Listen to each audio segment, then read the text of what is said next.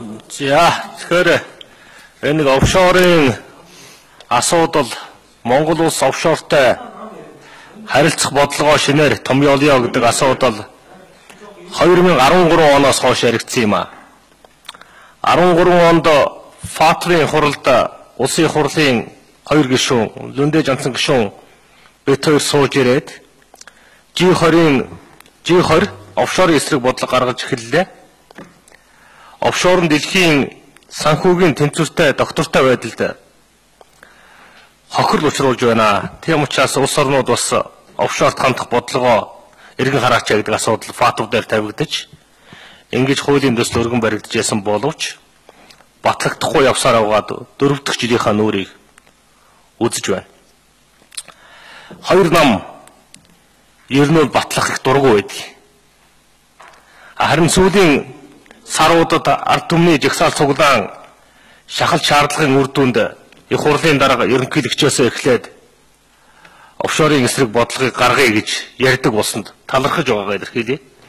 Бас хууль зүйн яам улсын хурлын төвшөнд нэг ажлын хэсэг гараад худлаа үнэн ч гэсний хуулийн төсөл боловсруулаад орж ирж байгаад бас талархаж байгаагаа илэрхийлье. Гэхдээ энэ хуулийн төслөөр офшор бүс гэдгийг офшор бүсээс гадна офшор банк гэж ойлголт байгаа. Офшор банкны тодорхойлт энд харагдахгүй байгаа. Офшор бүсээ яаж тодорхойлох юм бэ гэдэг дээр бас маргаан гарч ах шиг байна. Засгийн газрын тогтоолоор офшор бүсээ тодруулъя гэж. Энэ хэр оновчтой юм бэ гэж. Энэ бас эргэлзээтэй байгаа. Энийг нэг эргэн харах нь зүйтэй баха. Ер нь авилгатай тэмцэх газар хууль хяналтын байгууллагуудад Монголын төр офшортой харилцах бодлогоо маш тодорхой гаргаж өгөхгүй бол гартаа барих зэвсэггүй авилгатай тэмцэх газар офшорт хүн хадгалсан офшорт мөнгө нуусан нөхдөөтэй тэмцэл явуулах ямар ч боломжгүй байгаа гэдэг нь тод харагдаж байгаамаа. Тэгэхээр тодорхой санал гаргая. Зөвхөн албан тушаалтан офшорт мөнгө хадгалах данс нэх хөрөнгө байршуулахыг хориглохоос гадна нэгдмэл сонирхол бүхий этгээдүүдийг хамруулах нь зүйтэй гэдэг анхны хуулийн төслийн санааг энд авч үлдэх нь зүйтэй байхаа. Нямбаатар гишүүний хэлж байгааг ойлгож байна. Үндсэн хууль зөрчих гээд байна гэдэг асуудал яриад байгааг ойлгож байгаа. Гэхдээ үндсэн хууль зөрчих хэсгийг үндсэн хуулийн дэцэн шийднэ. Нямбаатар гишүүнэ. Тийм учраас улсын хурл бол бодлогоо гаргаж явуулах ёстой. Тэр ах дүүнийхээ нэр дээр л мөнгөө нуудаг байдал хэрэгс гитэрсэн.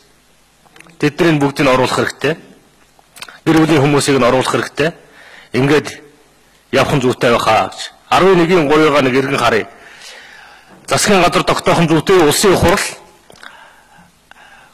жил болгон авилгатай тэмцэх газрын хөрөнгө орлогын мэдүүлгийн завгарыг бид баталдаг шиг жил болгон энэ офшор бус офшор банкны жагсаалтыг батлаад явахд болохгүй юм байхгүй. Заавал засгийн газарт энэ эрхийг өгөх шаардлага байхгүй гэж үзэж байна. 11-ийн 4 офшорт мөнгөтэй байсан нөхдүүд, мөнгө хадгалсан нөхдүүд, хөрөнгөтэй байсан нөхдүүд энийгээ мэдүүлээд төрийн албанд ажиллаж болно гэдэг зөвшөөрсөн заалт бол оновчтой биш ах уу? Энийг гасхан зүйтэй авах гэдэг саналтай байна. Ер нь одоо 26 жил Монголын төрөөс сулгай хийсэн өмчрөнгөө овшоортол нуусан гэдгийг хүн болгон мэдчих. Санжийн баяр 18 арбан байр Америкт авч хүүхдийнхаа нэр дээр баахан овшоордоос нээчгээд өнөөдөр Англид томилогдоод явж байгаа. Энийг Монголын төрөнд дэмжиж явж байгаа. Энэ бодлогыг бид зогсоох гэж энэ хуулийг баталж байгаамаа. Гинтэрэг хулгай Topan Greenwich